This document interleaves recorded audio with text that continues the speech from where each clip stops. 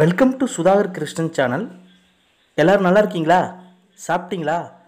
சரி வாங்க வீடியோக்குள்ளே போகலாம் வணக்கம். மாடித்தோட்டத்தில் எந்தெந்த குரோபேக்கில் எத்தனை செடிகள் வைக்கலாம் என்று விரிவாக இந்த வீடியோவில் பார்ப்போம். ஹாய் யூவர்ஸ் வணக்கங்க. இன்றைக்கி நம்ம ஒரு இன்ட்ரெஸ்டிங்கான வீடியோ தாங்க பார்க்க போகிறோம் என்னன்னு சொல்லிட்டு பார்த்தீங்கன்னாக்கா ஆடி பதினெட்டு வந்தாச்சு. இன்றைக்கி வந்து ஆடி பதினெட்டு ஆடி பெருக்குன்னு சொல்லுவாங்க. அதனால் இன்றைக்கி விதைகள் போட்டால் எல்லா விதையுமே முளைக்கும் அப்படின்றது நம்ம முன்னோர்களுடைய கருத்து. ஆடிப்பட்டத்தில் நம்ம விதை போட்டேன் அப்படின்னாக்கா நல்ல அறுவடையே எடுக்கலாம். சரி ஓகே. எல்லோரும் போட்டிருப்பீங்க. கண்டிப்பாக இன்றைக்கி ஒரு விதையாவது போடுங்க. என்கிட்ட கேட்குற நிறைய கேள்வி வந்து சார் ஒரு க்ரோ பேக்கில் எத்தனை தக்காளி செடி எத்தனை கத்திரி செடி எத்தனை வெண்ட வெண்டை செடி அப்படி நடலாம் அப்படின்னு சொல்லிட்டு நிறைய பேர் வந்து என்கிட்ட டவுட் கேட்குறாங்க அவங்களுக்கு எல்லாருக்கும் ஒரு தீர்வாக அமைகிற மாரி தான் இந்த வீடியோவை நான் ரெடி பண்ணியிருக்கேன். ஒரு சில பேர் இதை பற்றி எல்லாருக்குமே தெரிஞ்சிருக்கும். அவங்க எல்லாருமே வந்து நீங்கள் ஸ்கிப் பண்ணிவிடுங்க தெரியாதவங்க புரியாதவங்க வந்து இந்த வீடியோவை பாருங்கள் சரி இப்போ நம்ம க்ரோபேக்கில் வந்துட்டு சரியான க்ரோபேக்கை சரியான செடிக்கு வந்து நம்ம தேர்ந்தெடுத்தோம் அப்படின்னாக்கா நம்ம ஈல்டு கொஞ்சம் எக்ஸ்ட்ராவே எடுக்கலாம். அந்த விதத்தில் பார்த்தீங்கன்னாக்கா ஃபஸ்ட்டு ஃபஸ்ட்டு நம்ம ஒரு கத்திரி செடியை எடுத்துக்கலாம். ஒரு கத்திரி செடியை வந்து ஒரு க்ரோ பேக்கில் எத்தனை வைக்கலாம் அப்படின்னு சொல்லிட்டு பார்த்தீங்கன்னாக்கா அதாவது ஒரு அடிக்கு ஒரு அடி க்ரோ பேக் எடுத்துங்க. கவர்மெண்ட் கிட்டில் கொடுக்குற க்ரோ அது வந்து பார்த்தீங்கன்னாக்கா ஒரு பேக்குக்கு ஒன்று மட்டும் வைங்க. ஏன்னா அது வந்து வேர் வந்து நிறைய வரும். அதுவும் இல்லாமல் ரொம்ப அடர்த்தியாக வரும். ரொம்ப ஹைட்டாக வரும். நம்ம ரெண்டு வச்சோம் அப்படின்னாக்கா கேப் வந்து கம்மியாக இருக்கும். பூச்சிகளுக்கு கூடாரமாக அது அமையும். காற்றோட்ட வசதி இல்லாமல் இருக்கும். அதனால் ஈல்டு வந்து நமக்கு குறையும். நீங்கள் நடும்போதே ரெண்டும் சேர்ந்தா போல் இருக்குது பார்த்தீங்களா நாற்று. அது போல் நீங்கள் கத்திரி செடியை நடுங்க. இது போல் நடுறதுனால நம்ம வந்து கத்திரி செடியில் நல்ல ஈல்டை வந்து நம்ம எடுக்கலாம். அதனால் தயவுசெய்து ரெண்டு நடாதீங்க ஒன்று மட்டும் நடுங்க. சரி கத்திரி பார்த்தாச்சு. அடுத்தபடியாக வெண்டை செடி வெண்டை செடி ரொம்ப படர் அடர்த்தியெல்லாம் வளராது. கொஞ்சம் ஹைட்டாக வரும். அப்போ நம்ம ஒரு க்ரோ பேக் அதாவது ஒரு அடி இருக்குது பார்த்தீங்களா? ஒரு அடிக்கு ஒரு அடி ஆழம். கவர்மெண்ட் கிட்டில் கொடுக்குறது தான். ரெண்டு நடலாம் நம்ம. அதாவது இந்த சைடு ஒன்று அந்த சைடு ஒன்று ரெண்டு நடலாம். ஏன்னா இந்த அளவுக்கு வந்து கத்திரி செடி அளவுக்கு இது வந்து வராது. அதனால் நீங்கள் தாராளமாக வந்து ரெண்டு நட்டுக்குங்க. அடுத்தது பார்த்தீங்கன்னாக்கா தக்காளிங்க. தக்காளியும் கத்திரி செடி போல் ரொம்ப பறந்து விரிந்து வரும். அதில் வந்து நிறைய காய்கள் வந்து காய்க்கும். இலைகள் நிறையா வரும். இதுவும் ஒரு காற்றோட்டமான வசதி உள்ளதை மாதிரி நம்ம ரெடி பண்ணணும். அதனால் தக்காளி செடி வந்து நீங்கள் ஒரு குரோபேக்கு ஒன்று மட்டும் நட்டுக்குங்க. நட்டுட்டு ஒரு கொம்பு ஒன்று நட்டு விட்டுடுங்க. அப்போ தான் வந்து காய்கள் காய்ச்சி கீழே அந்த கிளைகள் முறியாத அளவுக்கு சப்போர்ட்டிவாக இருக்கும். கத்திரி செடிக்கு அந்த கொம்பு வந்து நடணும் அப்படின்ற அவசியம் இல்லை. அதனால் ஒன்று மட்டும் வச்சுக்கோங்க இதுவும். அடுத்தது மிளகாய் செடிங்க. மிளகாய் செடி நல்ல காற்றோட்டமான வசதி இருந்ததுனாக்கா உங்களுக்கு நோய் தாக்குதல் இல்லாமல் நல்ல ஈல்டு வந்து கிடைக்கும். அதனால் மிளகாய் செடியும் நீங்கள் வந்து ஒன்று மட்டும் நடுங்க. ரெண்டு சேர்ந்தா போல் ஒன்று மட்டும் நடுங்க. இப்போ இந்த மிளகாய் செடியை பாருங்கள் ஒரு செடி தான் எவ்வளவு காய்கள் வந்து காய்ச்சிருக்கு எப்படி பறந்து விரிந்து இருக்குது அப்படின்னு சொல்லிட்டு பாருங்கள் அதனால தான் நான் சொல்கிறேன் ஒரு குரோபேக்குக்கு ஒன்று மட்டும் நடுங்க.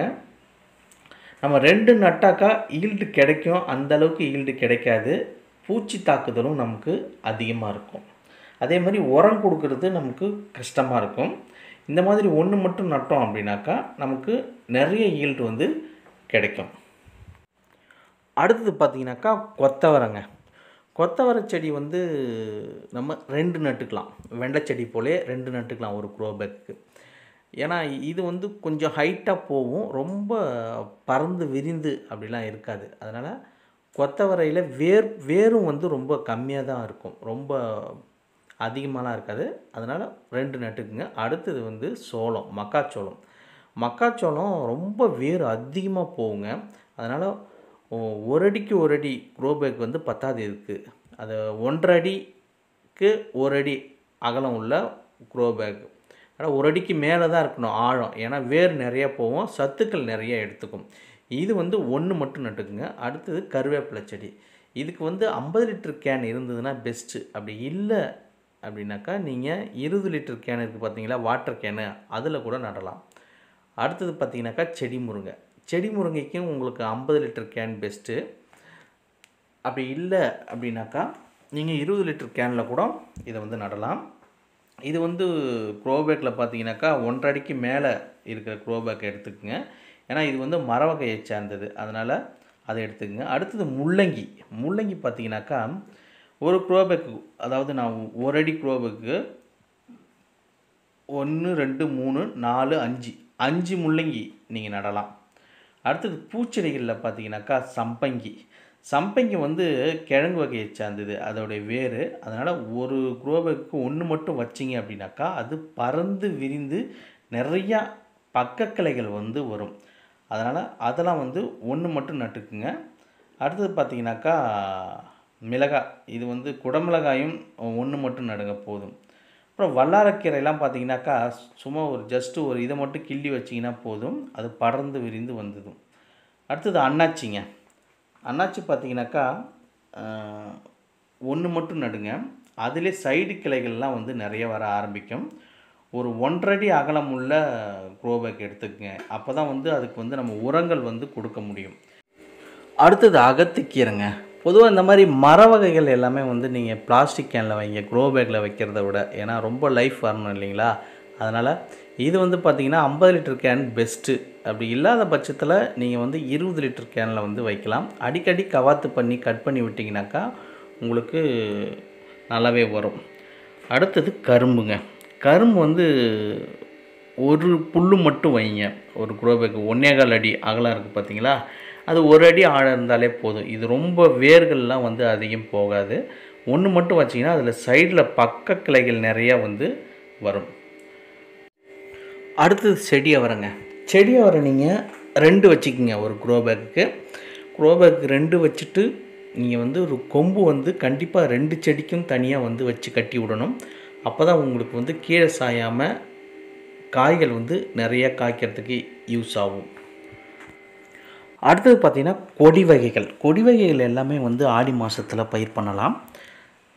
என்னென்னு பார்த்தீங்கன்னாக்கா அவரை கொடி அவரை பாகல் புடலை பீக்கன் பூசணி சுரை பாகற்காய் ஆல்ரெடி சொல்லிட்டேன். இதெல்லாமே வந்து நம்ம வைக்கலாம். இதெல்லாம் வந்து பார்த்திங்கனாக்கா ஒரு ஒன்றரை ஆழம் ஒன்றரை அகலம் உள்ள க்ரோபேக் வந்து பெஸ்ட்டு இதில் பார்த்தீங்கன்னாக்கா இதெல்லாம் வந்து சத்துக்கள் வந்து நிறைய தேவைப்படும். அப்போ என்ன பண்ணணும்னாக்கா நமக்கு ஒரு குரோபர்களுக்கு ரெண்டு மட்டும் வைங்க.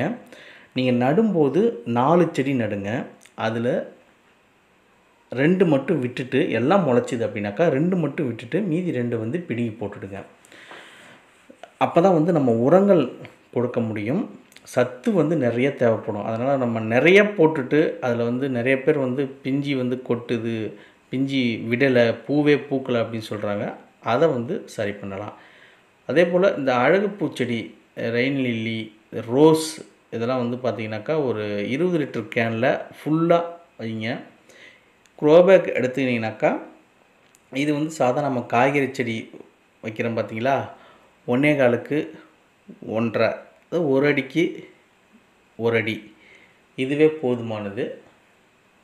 அதில் கூட நீங்கள் வந்து வைக்கலாம். சாமந்தி செடி அப்புறம் துளுக்க சாமந்தி செடி அப்புறம் வாஸ்து பூச்செடி வந்து இது வந்து ஒன்று வச்சாலே போதுங்க. நிறைய இதுலேருந்து விதைகள் விழுந்து நிறையவே வரும். வாடாமல்லி அப்படின்னு சொல்லிட்டு சொல்லுவாங்க. ஒரு சில அழகு பூச்செடிலாம் நம்ம என்ன பண்ணோம்னாக்கா குரோபேக்கில் அப்படியே நிறைய கலரை தூவி விட்டுடணும் அப்படி தூவி விடும்போது அது பூத்து வரும்போது பார்க்குறதுக்கே வந்து கலர்ஃபுல்லாக இருக்கும். இந்த மாதிரி பூச்செடியெலாம் வந்து தனித்தனியாக நடாதீங்க. பார்க்குறதுக்கு கொஞ்சம் இதுவாக இருக்கும். இந்த மாதிரி நட்டிங்கனாக்கா உங்களுக்கு கலர்ஃபுல்லாக இருக்கும். ஓகே விவஸ் um, நம்ம இந்த வீடியோவில் வந்து எந்தெந்த செடி வந்து எந்தெந்த க்ரோ பேக்கில் எத்தனை வைக்கலாம் அப்படின்றத பற்றி நம்ம பார்த்துட்டோம்னு நினைக்கிறேன். மீண்டும் ஒரு அடுத்த நல்ல வீடியோவில் நான் உங்களை சந்திக்கிறேன். இந்த வீடியோ ரொம்ப பயனுள்ளதாக இருந்திருக்குன்னு நான் நம்புகிறேன் இந்த வீடியோ பிடிச்சிருந்தா கண்டிப்பாக லைக் பண்ணுங்கள் ஷேர் பண்ணுங்கள் சப்ஸ்கிரைப் பண்ணுங்கள் மீண்டும் ஒரு அடுத்த நல்ல வீடியோவில் நான் சந்திக்கிறேன். நன்றி வணக்கம்.